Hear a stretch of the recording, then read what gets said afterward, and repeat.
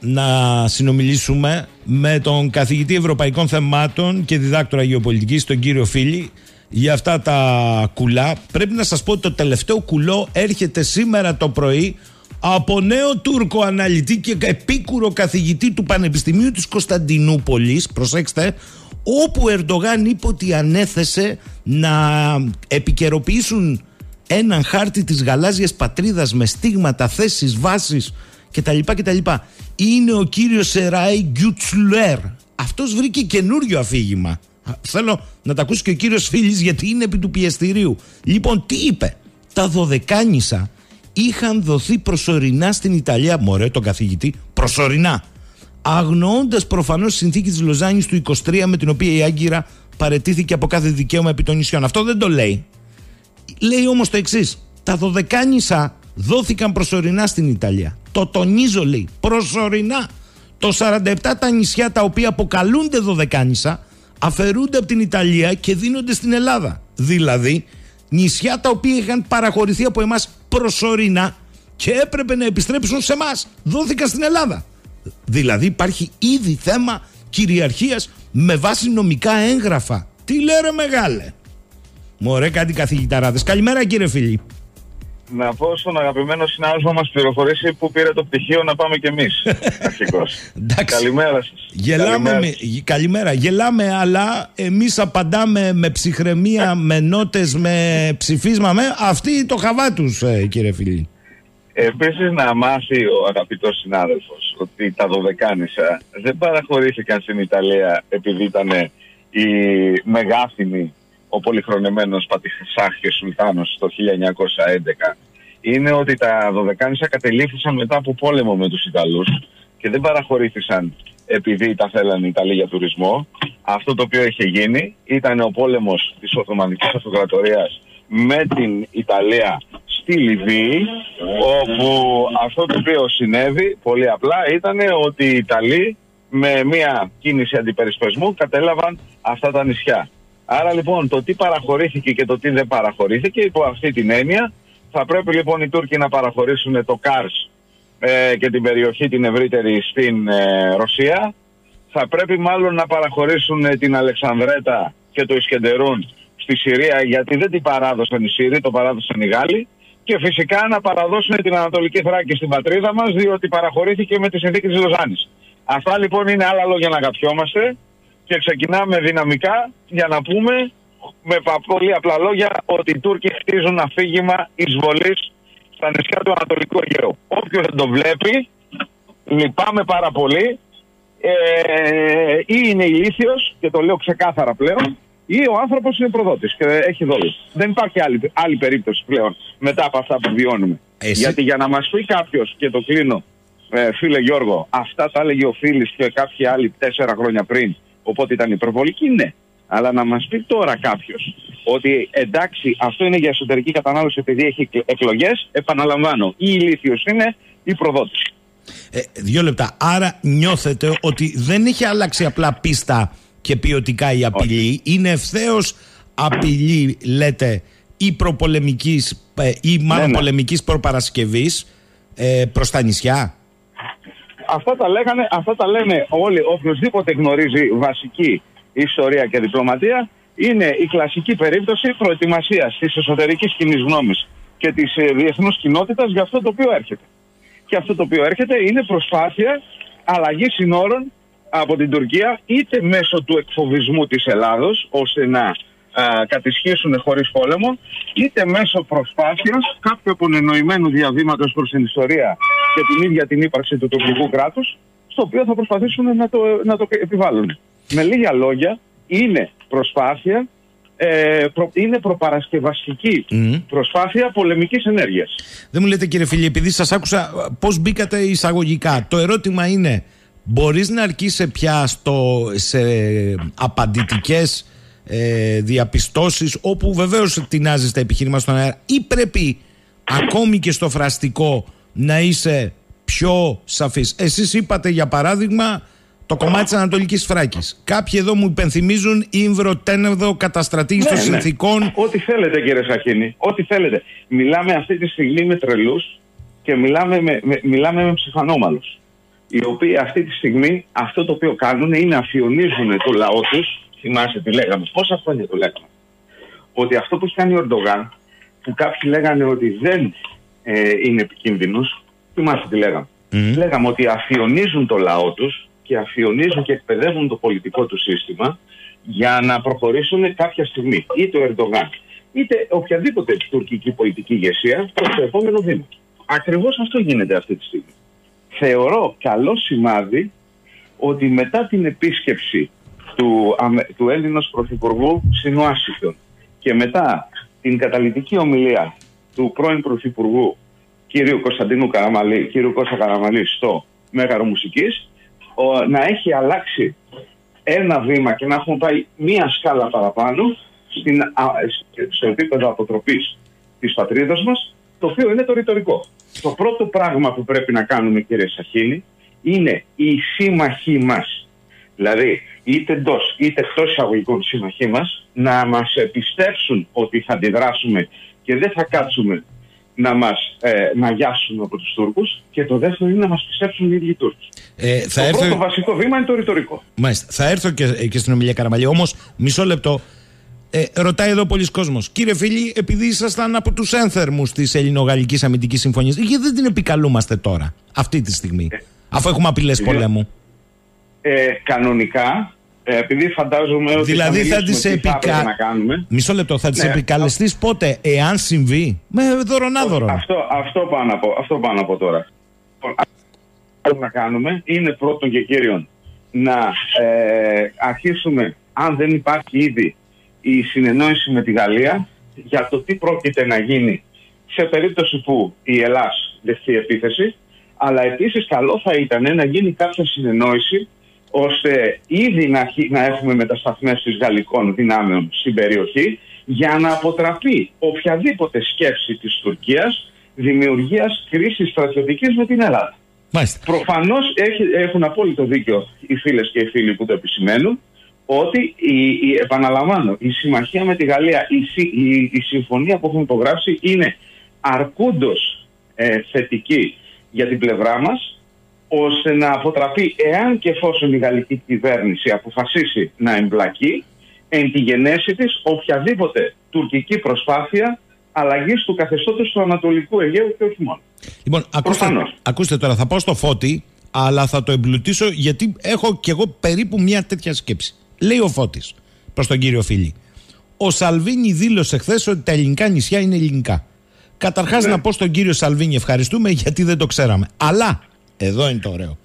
Για τη θάλασσα, ΑΟΣ, κυριαρχία, Αιγιαλίτιδα, ένα αέριο χώρο, κουβέντα. Και λέω εγώ τώρα, λέει ο Φώτης, μήπως αυτή είναι η μέθοδος που θα κρατήσουν οι τάχα σύμμαχοί μας, τα νησιά σας δικά σας, αλλά για τις θαλάσσιες ζώνες να δούμε ρε παιδί μου στο Αιγαίο και στην Ανατολική Μεσόγειο πώς να την τεμαχίσουμε για να σταματήσουν και οι τριβές. Και σας ρωτώ ευθέως, συμπληρώνοντας το ερώτημα του Φώτη επειδή οι Τούρκοι αναλυτές, που δεν είναι τυχαία πρόσωπα, είναι όλοι ενταγμένοι στο σκληρό πυρήνα του κράτους. Ναι. Λένε ότι εμείς να πάμε σε δύο νησιά, τρία, αυτό λένε, να στείλουμε το μήνυμα στην Ελλάδα ότι κοίτα, εμείς δεν σε απειλούμε, αλλά ανεβήκαμε πάνω για να τα αποστρατιωτικοποιήσεις και να καθίσουμε να συνεννοηθούμε για τις θαλάσσιες ναι. ζώνες. Μπορεί να παίζει ένα τέτοιο σενάριο; Και εγώ μπορώ να παίζει ότι θα πρέπει να πάμε στην ε, Χερσόνησο της Καλύπολης, όχι για να την καταλάβουμε, αλλά για να πείσουμε τους Τούρκου ότι θα πρέπει να αποστρατιωτικοποιηθεί σύμφωνα με τη συνθήκη της Λοζάνης, ότι δεν μας αρέσει η συνθήκη του Μοντρέ. Δεν υπάρχουν. Είναι παραλογισμοί, όπως είπαμε. δηλαδή, πραγματικά ναι, δεν Να φύγετε λίγο, κύριε Φίλη, φύγετε λίγο από τους παραλογισμούς. Μήπως ε, ο κόσμος το λέει με ωραίο τρόπο, αλλά να το πω εγώ πιο χιδέα. Μήπως η ένταση αυτή είναι τεχνικά διωγγούμενοι και απ' έξω και από μέσα και από παντού και από απέναντι και από εδώ για να κάτσουμε σε ένα τραπέζι ναι. να συνεννοηθούμε για τις θαλάσσιες ζώνες και το τυράκι εδώ είναι τα νησιά. Απλά να ακούγεται τα νησιά ούτως ώστε να αισθανθούμε όλοι ξαλαφρωμένοι. Δεν είναι τα νησιά, συζητάμε για τις θαλάσσιες ζώνες. Ναι, ε, δεν λοιπόν, πάει και η λοιπόν, επίρρεια στο παλιά λόγο. αυτό λοιπόν παλιά λόγο δεν υπάρχει στα κυριαρχικά δικαιώματα. Εγώ οφείλω να το ρωτήσω, όπως το λέει ο κόσμος. Ναι, ναι, ναι, και εγώ απαντάω στο παλιά λόγο, όχι που το λέτε εσείς, με το να ξεμπερδέψουμε. Ε, δεν υπάρχει περίπτωση να ξεμπερδέψουμε. Μόλις ο Τούρκος θα του δώσεις ε, χωρικά ύδατα και γυαλίτιδα ζώνη, το επόμενο θα σου ζητήσει νησιά. Η αποστατικοποίηση των νήσων το ζητάει για να αλλάξει το καθεστώς ιδιοκτησίας των νήσων. Τον Τούρκο δεν τον ενδιαφέρει μόνο η θάλασσα, τον ενδιαφέρει ως χώρος. Και χώρος τον ενδιαφέρει να καταληφθεί.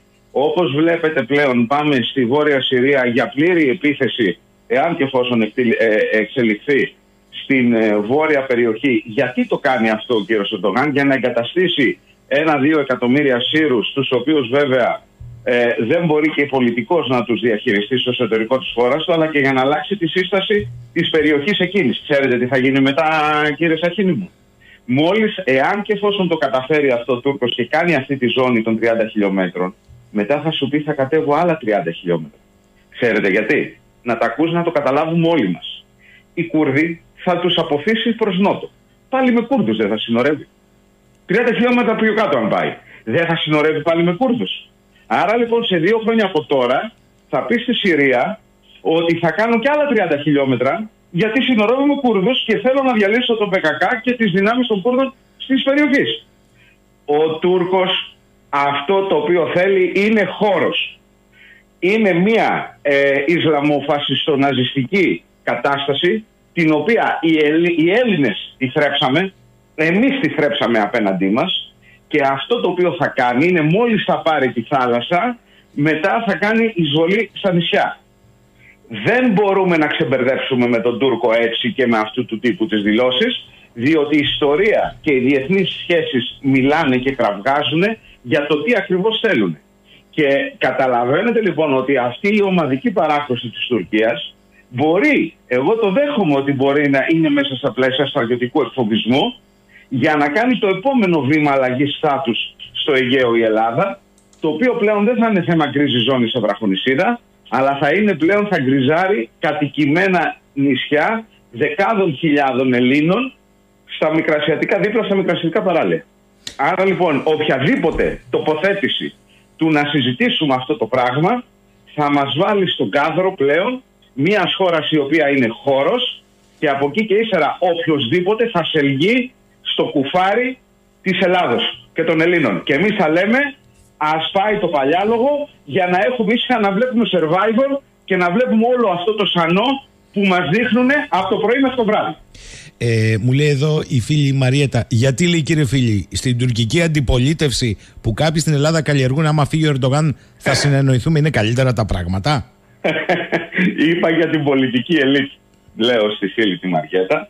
Και εγώ είμαι εκείνος ο οποίος από το 2020 και μάλιστα όχι εγώ, εμείς ήμασταν, το συζητάγαμε, ότι ο κύριος Κελιτζάρογλου μας λέει και το πάει ένα βήμα. Έχει, ε, έχει, έχει, έχει, έχει φύγει παραπέρα. Έτσι. Η κατάσταση μιλάμε ότι είναι εξωπραγματική. Δεν υπάρχει άλλη χώρα στην Τουρκία. Δεν υπάρχει. Οι Ρώσοι είναι γατάκια μπροστά τους. Όταν λέμε γατάκια, εννοούμε δεν τους φτάνουν ούτε στον ηχάκι τους. Ο Κιλιτζάρογλου λοιπόν από το 2020 μας έλεγε και το θέλω να το υπενθυμίζω για πολλωστή φορά γιατί οι Έλληνες πρέπει να το ακούνε αυτό. Για να καταλάβουμε τι συζητάμε πλέον. Ότι ναι, έχουν καταληφθεί 18 νησιά, 16 πόσα λέει, είναι ό,τι μην πω του καθενός. Αν ο αριθμός των νήσων του Αιγαίου, τα οποία είναι καθυλιμένα από τους Έλληνες, θα έχει καταλάβει η κυβέρνηση Καραμαλή. Το 2005-2006 έχει βγει στη μεγάλη εθνοσυνέλευση του μεγάλου τουρκικού έθνους, πώ τη λένε ακριβώς και το έχει πει. Λοιπόν, και λέει, άρα λοιπόν, έχουν καταληφθεί νησιά, αλλά έχουν καταληφθεί ενώ ήσουν εσύ στη δικιά σου βάρδια, Ερντογάν. Άρα λοιπόν πήγαινε να τα επανακαταλάβεις και εγώ θα σε υποστηρίξω. Μάλιστα. Αυτό λοιπόν σημαίνει ότι ο, Κωνστα... ο Κώστας Καραμαλής και η κυβέρνηση της Νέας Δημοκρατίας, όπως μ' αρέσει να το λέω έτσι, μετά την Ολυμπιάδα, μετά την Eurovision και μετά το Ευρωμπάσκετ και το Euro, κατέλαβε και 18 νησιά. Έκανε τη μεγάλη εξόρμηση στο Αιγαίο. Και έστειλε τον Αβέροφ και απελευθέρωσε την ψέρι μου. Τι ωραία αυτό. Και εμείς, ναι, το ξέρετε ότι δεν απαντάμε σε αυτά. Το καταλαβαίνετε. Το καταλαβαίνετε ότι αυτοί εδώ που μας κυβερνάνε δεν απαντάνε, όχι αυτοί ενώ αυτή η κυβέρνηση, το πολιτικό δεν απαντήσανε σε αυτό το 2020. Το καταλαβαίνετε. Και πώς θα απαντήσουν, θα δείξει την επίσκεψη του Γεωργίου Παπανδρέου τη δεκαετία του 60 στην Ψέριμο. Μάλιστα. Μία επίσκεψη Χριστούγεννα 1963, 64. Εγώ δεν λέω να κάνουν. Δηλαδή δεν απαντάνε. Ε... Δεν απαντάνε. Άρα λοιπόν έχουμε κάνει μεγάλο βήμα αυτή τη στιγμή που απαντάμε. Ε, μήπως ε, ε, επανέρχεται ο μελέτης, κύριε φίλοι, μήπως είναι όλα τεχνητά, διότι την ίδια ώρα οι σύμμαχοί μας Ιταλοί μας ναι. πέταξαν έξω ε, από την ιστορία για τη Λιβύη, έχουν φωνάξει την Αίγυπτο και την Τουρκία και ανακοινώνουν και κοινό σχέδιο ενώ υπάρχει το παράνομο τουρκολιβικό κάτω από την Κρήτη. τι είχαμε πει για τους Ιταλούς, κύριε Σαχίν. Θυμάστε που είχαμε πει ότι η Ιταλία παίζει μεγάλο παιχνίδι στην Λιβύη και στα δυτικα και στην κεντρική Μεσόγειο. Θυμάστε που είχαμε πει ότι γενικά οι Ιταλοί δεν είναι τόσο ξεκάθαροι όσο οι Γάλλοι στο τι ακριβώς θα γίνει στα ελληνοτουρκικά και το πώς κινούνται. Θυμάστε που λέγαμε ότι η ανάπτυξη του ελληνικού πολεμικού ναυτικού δεν έχει να κάνει μόνο με τους Τούρκους αλλά έχει να κάνει με όλη την ισορροπία δυνάμεων γιατί η Ιταλία αυτή τη στιγμή χτίζει ναυτικό το οποίο πραγματικά γίνεται πανίσχυρο. Και θα πρέπει να είμαστε πολύ προσεκτικοί και να ξέρουμε ότι η ισορροπία δυνάμεων στην περιοχή δεν είναι Ελλάδα-Τουρκία. Είναι Ελλάδα-Τουρκία, Ισραήλ, Αίγυπτος, Ιταλία. Λοιπόν, εδώ λοιπόν στο όλο ζήτημα ας πούμε ότι το ειρηνευτικό υπάρχει δικαιολογία ότι εμείς το παίζουμε υπεράνω και δεν εμπλεκόμαστε. Αν και θα έπρεπε Όπως έχουμε πει. Τι υπεράνω, αφού υπάρχει τουρκολιβικό, δεν εμπλεκόμαστε. Ακριβώς, αυτό πάω λοιπόν τώρα. Στο λιβικό ενώ στην επίλυση του θέματος του πολιτικού και στρατιωτικού στο εσωτερικό της Λιβύης. Η Ελλάδα λοιπόν θα πρέπει να κάνει άλλη μια ανακοίνωση και να ξεκαθαρίσει βάζοντας στίγματα και χάρτες ποια είναι η αποκλειστική οικονομική ζώνη με τη Λιβύη μονόπλευρα. Το καταλαβαίνουμε αυτό που λέμε. Μονόπλευρα. Και να πάμε να συζητήσουμε με τους Λίβιους εάν και εφόσον αυτοί οι άνθρωποι βρούνε κάποια Υπάρχει αυτό κύριε Φίλη, να είστε δίκαιος. Και δεύτερο χρόνο. Υπάρχει, είναι η μόνη επίσημη κατάθεση χάρτη με στίγματα της εποχής Μανιάτης στον ΟΗΕ με τα θαλασσοτεμάχια έδωσε και το εξωτερικό όριο της ελληνικής ΑΟΣ. Ο μόνος χάρτης κατατεθειμένος. Ακριβώς. Άρα λοιπόν θα πρέπει οτιδήποτε συζητούμε στην περιοχή νοτίως της Κρήτης πολύ απλά να θεωρούμε τους Λίβιους ως θόρυβο. Σας το λέω τόσο ξεκάθαρα. Δεν έχουν ναυτικό. Αυτό που θα κάνουν είναι δεν θα κάνουν τίποτα κατά βάση. Αλλά εάν κάποιοι από τους φιλάρχους εκεί που κυβερνάνε ε, αποφασίσουν να ζητήσουν την, ε, την, ε, την παρουσία του τουρκικού ναυτικού, εκεί λοιπόν θα εμπλακεί και η Γαλλία. Γιατί όπως έχουμε πει δεν μας αγαπάει η Γαλλία και 40 χρόνια ποιούσε και αυτή την ίσα απέναντι σε ό,τι κάνανε οι Τούρκοι. Πολύ απλά τη πάτησε τον Γκάλο Ερντογάν, όπως σε πάρα πολλούς, όταν πήγε στην Λιβύη. Και εκεί το κατάλαβαν ότι δεν θέλουν ξανά το Χαϊρεντίν Μπαρμπαρό και τον Ουρούτ Ρέις στις ακτές της Βαρβαριάς και στη Δυτική Μεσόγειο. Οι Ιταλοί. Οι Γάλλοι. Οι, Γάλλοι. οι Ιταλοί, οι Ιταλοί, παίζουν, οι Ιταλοί παίζουν το δικό τους παιχνίδι και πρέπει να είμαστε πάρα πολύ προσεκτικοί. Εγώ αυτό μπορώ να πω δημοσίως αυτή τη στιγμή και μένουμε σε αυτό. Η φίλη μου η Μαριάνθη λέει Καλημέρα κύριε φίλη. Άρα η τωρινή ε, κατάσταση που έχουμε τη διαρκή ένταση των προκλήσεων και την αλλαγή πίστας όπως είπατε την Τουρκία είναι άσχετη με την αποστολή οπλικών συστημάτων από εμάς στην Ουκρανία; Μήπως τελικά είναι όλα τεχνητά; Είναι σχετική νομίζω με την επίσκεψη του Πρωθυπουργού στην ε, Ουάσιγκτον το οποίο, η οποία συνδυάζεται και με η τοποθέτησή του η δημόσια εκεί και της πατρίδας με το τι συμβαίνει στην Ουκρανία. Αυτό ναι, θα συμφωνήσω ότι έχει άμεση σύνδεση ε, θεωρώ ότι κάτι έχει, κάτι έχει συζητηθεί μεταξύ του Έλληνα του Πρωθυπουργού και του Αμερικανού Προέδρου εκτός κάμερας και καλώς, εν πάση περιπτώσει, συμβαίνει αυτό. Δεν θα μπορούσε να γίνει κάτι διαφορετικό. Κάτι έχουν αντιληφθεί, κάτι εκτιμούν οι Τούρκοι ότι πρόκειται να συμβεί και γι' αυτό έχουν λησάξει. Τώρα, από εκεί και ύστερα, μία τεχνητή κρίση, επαναλαμβάνω, θα βόλευε μία μεγάλη δύναμη όπως τις Ηνωμένες Πολιτείες για να, να αλλάξει το στάτους προς τη μία ή την άλλη πλευρά, όπως άλλαξε παράδειγμα μεταξύ Αρμενίας και Αζερβαϊτζάν και δεν θα πω ότι ησύχασε, αλλά εν πάση περιπτώσει επανέλθε μια ισορροπία ισχύως, μάλλον μια ισορροπία πολιτική και γεωπολιτική που αντικατοπτρίζει την ισορροπία ισχύως μεταξύ Αζερβαϊτζάν και Αρμενίας και έβαλε τους Ρώσους σε περιοχές οι οποίες είχαν φύγει από τι αρχές δεκαετίας του 90. Δηλαδή, έχοντας ως παράδειγμα το Αζερβαϊτζάν με την Αρμενία, το τι έγινε και το πώς η μεγάλη δύναμη της περιοχής είναι πλάκιν αφού φαγώθηκαν 43 μέρες, εμένα πάει στο μυαλό μου ότι ό,τι και να έχει γίνει ή ό,τι να είναι έτοιμο να γίνει, ε, δεν επαναλαμβάνω γιατί θέλω να είμαι ακριβής.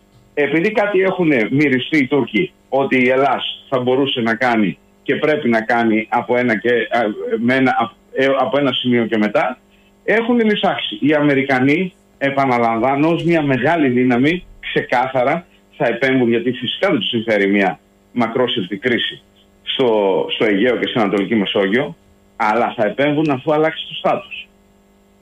Και αν αλλάξει το στάτους, εάν είναι υπέρ μας, έχει καλό για μας. Εάν είναι κατά μας, η επέμβαση των δυτικών συμμάχων μας θα είναι ίδια με την Κύπρο. Δηλαδή σταματάμε εδώ και δεν κουνιόμαστε. Δεν θα σε γυρίσουν πίσω στο status quo antebellum. Το καταλαβαίνουμε αυτό; Το καταλαβαίνουμε; Αυτό σημαίνει λοιπόν ότι θα πρέπει η Ελλάδα, για να το ολοκληρώσω, για να είναι ναι, ναι. ολοκληρωμένο. Ναι, Επιτρέψτε μου. Η Ελλάδα θα πρέπει να ξεκαθαρίσει στους Αμερικανούς πρώτον, στους Τούρκους δεύτερον και λέω στους Αμερικανούς πρώτον και στους Τούρκους δεύτερον, ότι η επόμενη πολεμική αντιπαράθεση με την Τουρκία δεν θα είναι σημειακή. Όπως το αναφέρει και το έχει αναφέρει μία φορά ο Αγεθά, ο στρατηγός Φλόρος. Αυτό δεν πρέπει πλέον να το λέει ο, ο στρατηγός, πρέπει να το πει ο Πρωθυπουργός.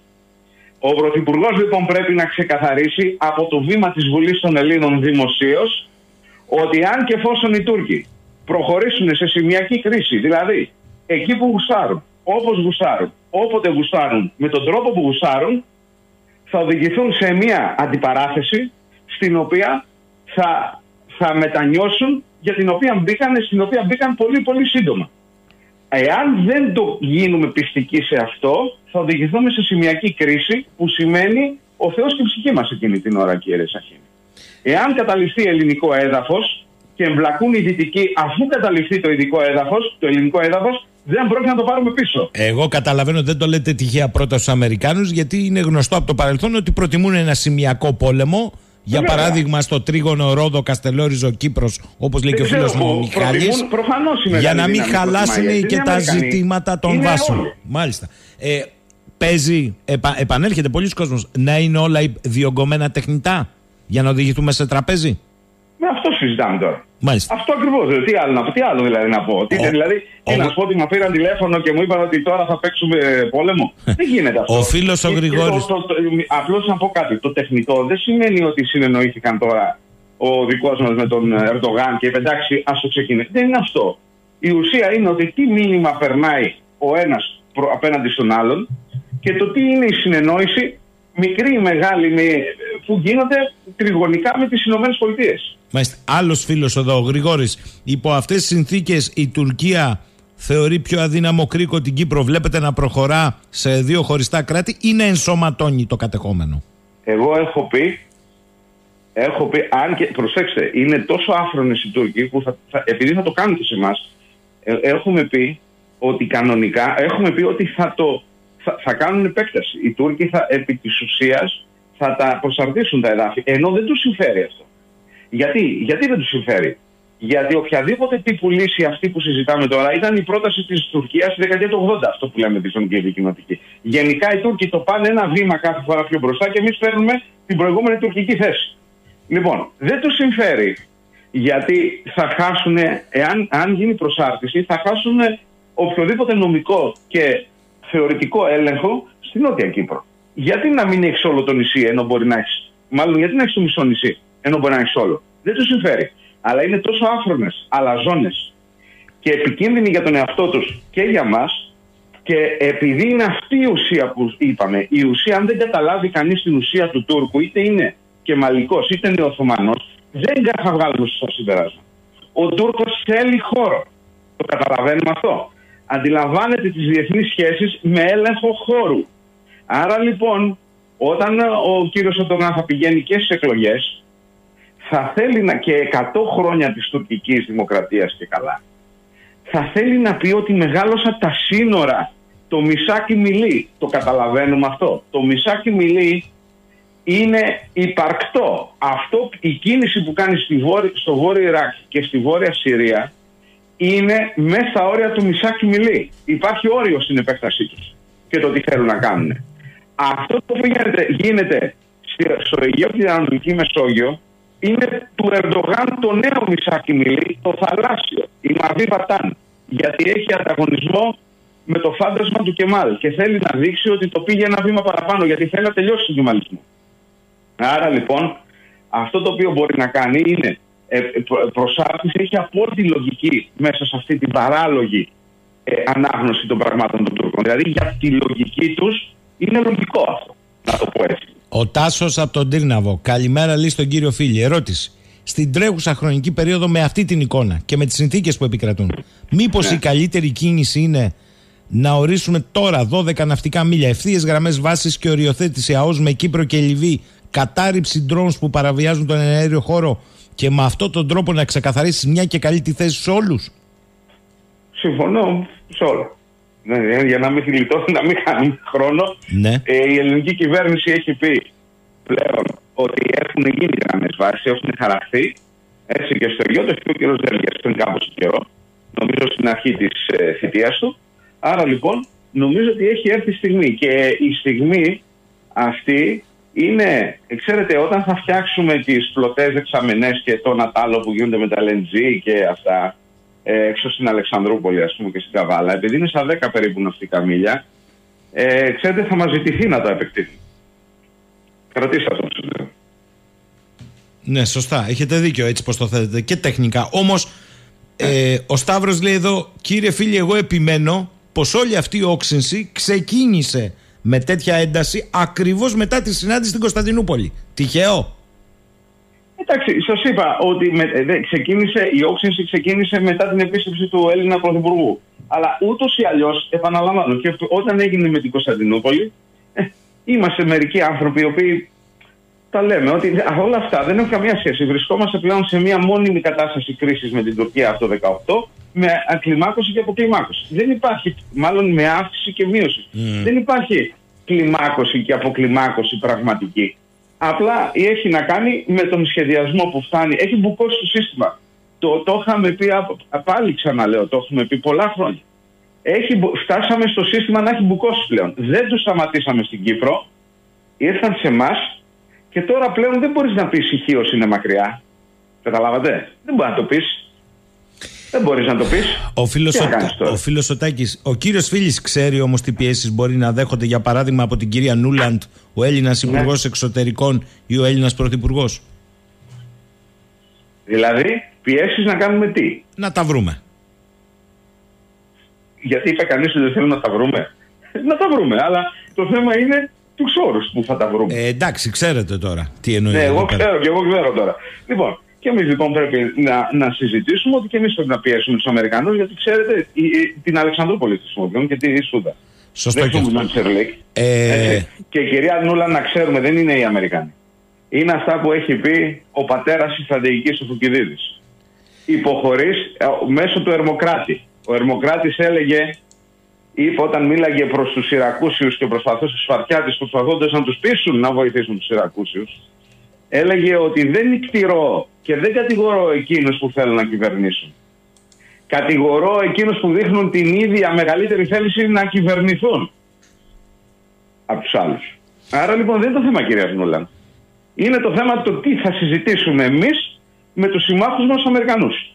Και πόσο εμείς θα είμαστε πιστικοί ότι δεν θα πούμε έλα μωρέ ότι έγινε έγινε και η Χίος είναι Το Χίος είναι ένα παράδειγμα ότι μιλάμε για ένα νησί του Ανατολικού Αιγαίου, έτσι προς Θεού, δεν εννοώ τίποτα διαφορετικό, για να μην παρεξηγούμε. Ναι, ναι, σωστά, ως παράδειγμα. Έτσι, για να το πάμε. Α το πούμε, τα ίνια είναι μακριά.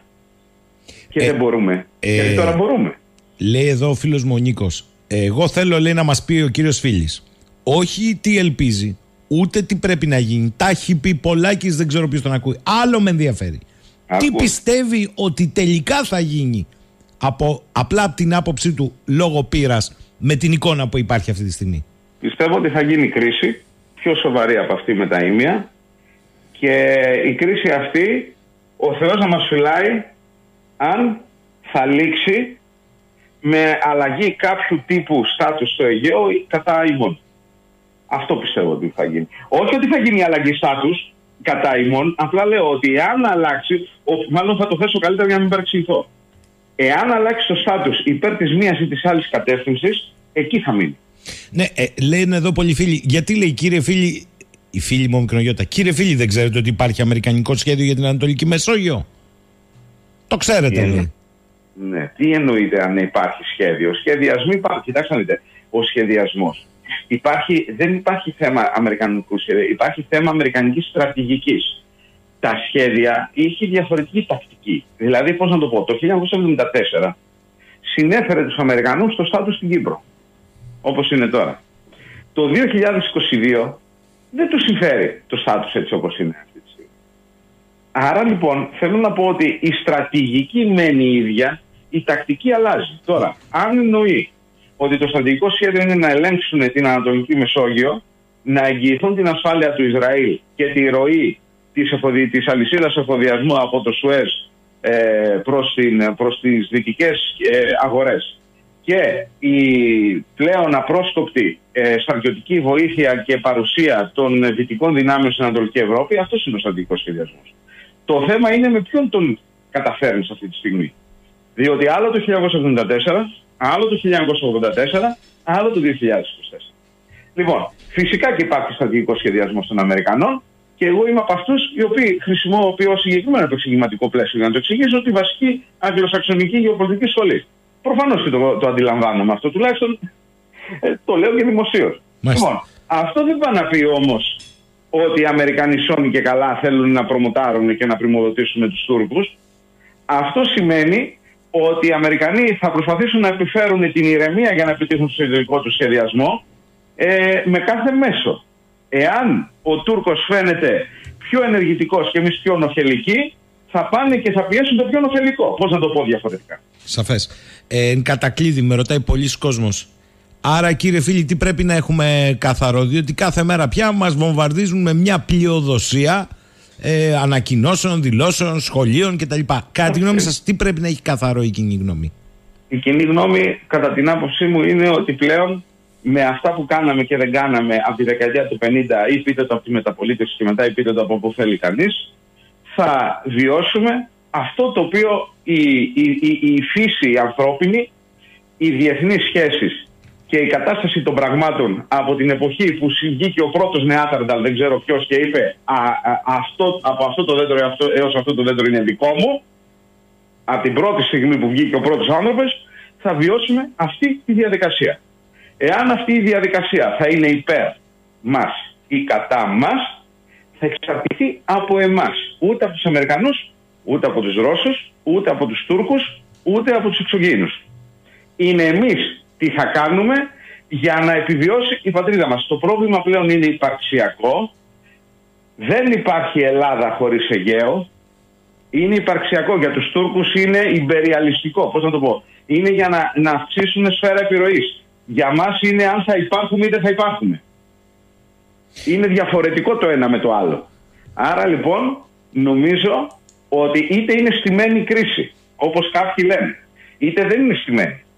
Είτε είναι κρίση η οποία θεωρητικά θα θέλω να ήταν στημένη, αλλά τελικά θα ξεφύγει. Είτε θα πάει όπως είναι στο σχεδιασμό, όπως συνήθως γίνεται στη ζωή. Δες πόσο ξεκίνησαν οι Ρώσοι και πώς έχει καταλέξει στην Ουκρανία. Νικάνε, αλλά δεν θέλανε σίγουρα με αυτόν τον τρόπο.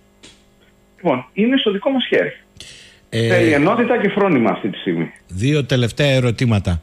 Απαντήστε πολύ γρήγορα. Το πρώτο. Ναι. Ε, Σταύρος, όσον αφορά λέει, τα, το ενδεχόμενο επεισόδιο με την Τουρκία, επειδή η γυναίκα ναι. μου είναι Κύπρια, λέει, έχει την ανησυχία ότι το πρώτο θα συμβεί στην Κύπρο ώστε να σπάσει η άμυνα της Ελλάδας. Είναι βάσιμη ή όχι η ανησυχία της όπως πάνε τα πράγματα ε, τώρα; είναι, είναι πιο βάσιμη γιατί οι δικοί μας εδώ θεωρούν την Κύπρο άλλο κράτος. Λέω ψέματα; Όχι. Λέω ψέματα; Όχι, όχι, όχι. Δεν λέτε όταν καθόλου. Έγινε, όταν έγινε, μπορεί να ξεχάσουν ότι υπάρχει και Ελβίκ εκεί. Λοιπόν, εν πάση τόσο αφήνοντας τώρα το, την ηρωνία, ε, η Τουρκία θεωρεί πολύ σωστά, η Τουρκία θεωρεί, την, ε, θεωρεί την, ε, τον ελληνισμό ως κοινό στρατηγικό α, παράγοντα, κάτι το οποίο στην Ελλάδα το θεωρούμε βολικό να μην το θεωρούμε, αλλά θα λειτουργήσει ως κοινός στρατηγικός παράγοντας. Θα το λειτουργήσει έτσι η Τουρκία. Η πιθανότητα λοιπόν να έχουμε κάποια κίνηση στην, στην Κύπρο είναι πάρα πολύ μεγάλη. Εκεί λοιπόν θα πρέπει και η Κύπρος να προετοιμάζεται. Γενικά αυτό που θέλω να πω είναι ότι πρέπει η πολιτική μας ηγεσία να, να μην υποκρίνεται ότι δεν υπάρχει πρόβλημα. Ή, δεν είναι καλό. Θα τους πούμε μπράβο αν δείξουν ότι υπάρχει πρόβλημα και ότι πρέπει να προετοιμαστούμε. Άρα λοιπόν, ναι, φυσικά υπάρχει κύριε Σαχίνη μου πάρα πολύ μεγάλη πιθανότητα για την Κύπρο. Είναι ξεκάθαρα. δεν θα μας κάνουν δήλωση οι Τούρκοι που θα χτυπήσουν. Να θυμίσω, λέει εδώ πέρα ο Γιάννη από την Αθήνα στους φίλους ακροατές, ότι αμερικανικός σχεδιασμός υπήρχε και στο Βουκουρέστι, αλλά τότε ο Έλληνας πρωθυπουργός ο Καραμαλής, αρέσει δεν αρέσει, λέει, υπερασπίστηκε τα εθνικά συμφέροντα. Κατά συνέπεια, και εγώ τώρα εδώ το βλέπω αυτό που γράφει, κατά συνέπεια, μήπως εδώ μας οδηγούν και γι' αυτό το πολιτικό σύστημα δεν λέει ότι έχουμε θέμα μέσα από εκλογές σε μια τρικοματική η οποία θα βάλει την υπογραφή στις θαλάσσιες ζώνες, δεν λέω για τα νησιά, στις θαλάσσιες ζώνες για να μην έχουμε πόλεμο. Οι Τούρκοι θα μας επιτεθούν σε νησιά. Οι Τούρκοι θα μας επιτεθούν σε νησιά. Αυτό είναι ξεκάθαρο. Στα δικά μου μάτια και στη δική μου ανάλυση και το έχω δικαιολογήσει σε αρχούντες. Δεν το βλέπουν ως έλεγχο χώρο ακόμα και αν οι δικοί μας αυτή τη στιγμή θεωρούν ότι μέσω μιας κρίσης θα υπάρξει βάση δικαιολόγησης ε, να τα βρούμε, κάνουν λάθος. Κάνουν τραγικό λάθος εάν το σκέφτονται έτσι.